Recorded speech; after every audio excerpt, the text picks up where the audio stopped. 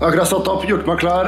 Nå venter jeg på en bolt. Skal bort til Egmont. Ha noen bilder der for en eller annen eh, kampanje. Get some job done. Og så må jeg begynne å forberede standup, fordi jeg skal stå standup i dag for første gang på dritlenge. Eh, og jeg er veldig nervøs, fordi som alltid så har jeg ikke gjort meg klar før dagen jeg skal gjøre det. Fått litt hjelp av Sandra Spjelka til å skrive noe gøy materiale. Ikke øvd på det. Det må gjøres. Dette blir en bra dag. Kjør. Grav i sekken.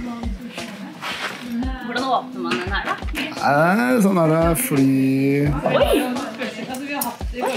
Ikke bare bare å stjele den. Faen, det er en stor sekk. Ja, det er en svær sekk.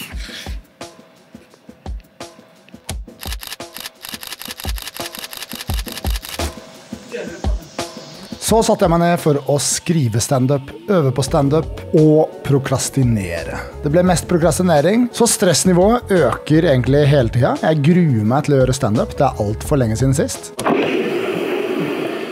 Og så ser jeg at det var utrolig irriterende at kameraet mitt sto på automatisk justering på lukkeråpningen, eller hva enn det er som gjør at lyset går opp og ned, opp og ned, opp og ned hele tiden. Kanskje jeg fikser det til en annen gang. Veldig herlig.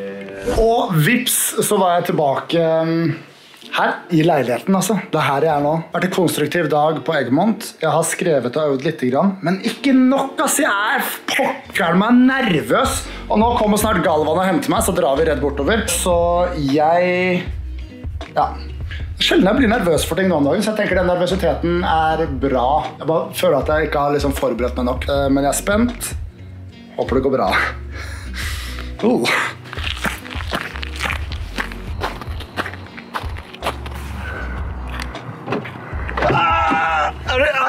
Jeg er med på en vlogg? Si jeg er med på en vlogg. Ja, ja. Det var faktisk Kristoffer som oppfordret meg til å vlogge nå som skal begynne å gjøre standup igjen. Nei, ja, nå må du begynne å vlogge. Halla, velkommen. Nå har jeg noe å vlogge om. Nå har du noe å vlogge Jeg har bare sittet inne i månedsvis ja. Der. og ikke gjort noen ting. Å, herregud, søt hund. Veldig halla. Halla, halla, Hva går det? Jo, det går bra. Godt å se deg. Veldig er så. Jeg og snakker Men med som har lyst til at jeg skal da. Hæ? No joke. Faen, ass. Du, du opplever så mye rare ting, ass. Da er vi, da er vi her. Takk for turen, Galvan. Du, vi er flink. kom hei, eh, Jim. Hei. Du skulle ikke Du skulle ikke komf i dag likevel? Du ga komfen til Galvan? Hvorfor det? Fordi han spurte. Fordi jeg tvang deg til det. Jeg tror jeg må tekste Jim der. Det var veldig sp- sped. Sped stemme der. Skal vi se. Har du organisert som standup, da? Er det gøy med annet enn standup på ti? Jeg kjørte med to før jeg kjørte. Der er du, Jonas.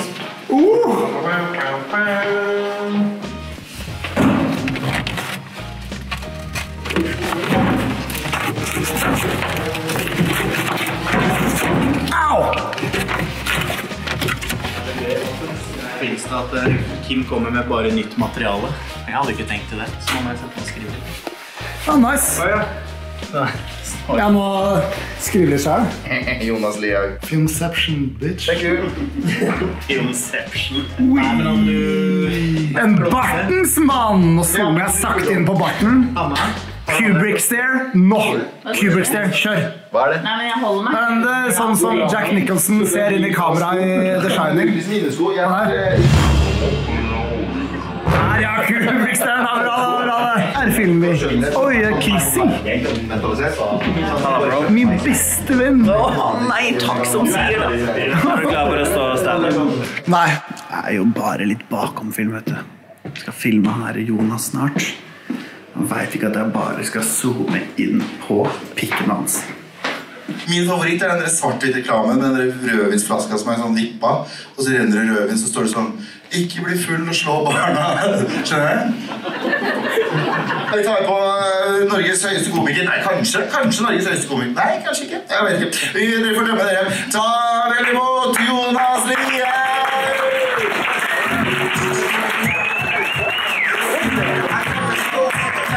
Og der har du med én stykk nervøs Jonas å gjøre. Jeg følte ikke på noen som helst måte at jeg var godt nok forberedt i forhold til hvor lenge det var siden sist gang jeg sto standup, men det skal sies at ansiktet mitt ser ikke så nervøst ut. da. Og jeg tror det i stor grad er fordi Kristoffer, min kjære venn, hadde gitt meg eh, et tips før jeg gikk på scenen, som bare var eh, en historie jeg hadde fortalt han før, som passa veldig bra inn med noe som en veldig hyggelig dame hadde sagt om speideren før meg. Så jeg gjorde det, og så bare kjørte jeg på. Egmont, så tenker alle at jeg liksom røyker veldig mye. Likte veldig godt at Hanna snakka om speideren også. Jeg, jeg gikk i speideren eh, selv. Og, og mange år etter at jeg var ferdig i speideren, så kom det frem at han troppslederen vi hadde, han var grovt pedofil. Eh, det, dere ler, er regi. De lo ikke på Fagerstrand. Først tenkte jeg sånn, å herregud, så forferdelig. Håper det går bra med alle ofrene. Og så tenkte jeg sånn Hva var galt med meg?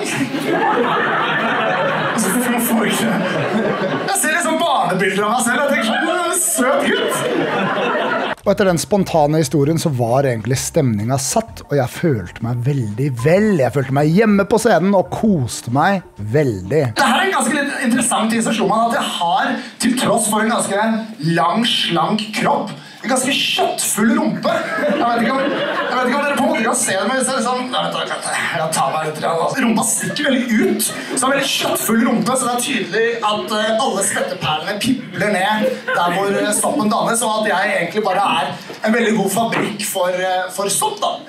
Uh, um, altså, altså. Kroppen min ser ut som en lang, tynn hals med et veldig definert adamseple.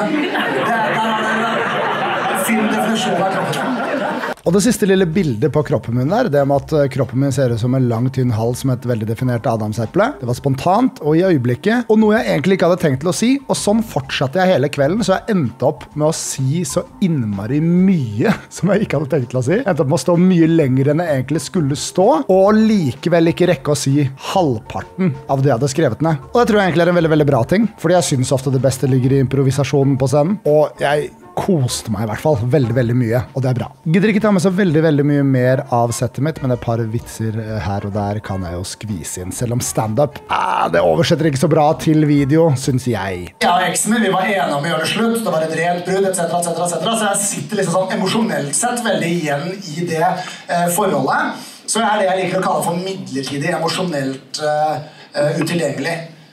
Som egentlig bare betyr at jeg vil Hva sa du? Fuckboy? Hva sa du? Fuckboy? Hva sa du? Fuckboy? Og så sier han ha, førstemann til å få buksa mi sugd! Og det syns jeg bare var så innovativt og bra og smart at jeg tenkte sånn Det må jeg må bare gjøre det. Jeg må bare gjøre det.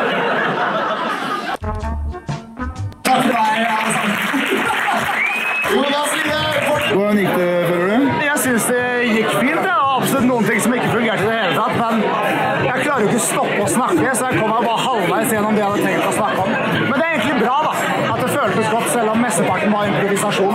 Så kvelden var en braksuksess, men det skulle bli enda bedre. Det var fremdeles mange nydelige komikere igjen som jeg bare nå kunne sitte og nyte. Men jeg tør ikke oute vitsene deres, det spurte jeg ikke om å gjøre, så jeg bare snakker over det mens dere ser noen klipp av dem her nå. Og så endte vi opp med å ta en tur på Salt, se noe annet standup, eh, og så nå er vi her på Kafé 33. Kim er på kjøreren, livet er svært behagelig, eh, og jeg er, jeg er fast bestemt på at jeg skal gjøre mer standup fremover. Jeg. Så jeg håper denne vloggen blir bra og kunne brukes som et slags trekkplaster for hvor enn jeg står, så jeg får lov til å stå mange steder. Men aller mest har jeg faktisk lyst til å stå steder hvor det er liksom meg og fem publikummere, som det er den beste øvingen. Kimi, Kimi, Kimi kommer inn i Kafé 33.